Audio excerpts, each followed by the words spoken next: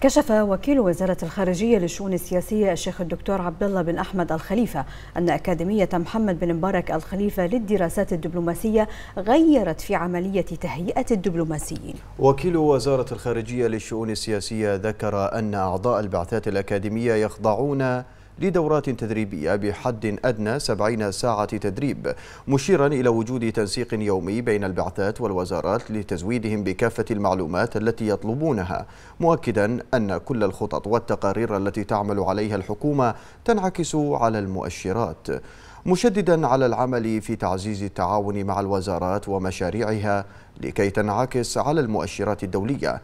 هذا وأكد وكيل وزارة الخارجية أن الخطة الوطنية لحقوق الإنسان بأنها غير مسبوقة على مستوى دول المنطقة مؤكدا أن كافة التقارير التي تصدر من الخارج حول مملكة البحرين يتم الأخذ بما جاء فيها ودراستها والرد عليها بشفافية.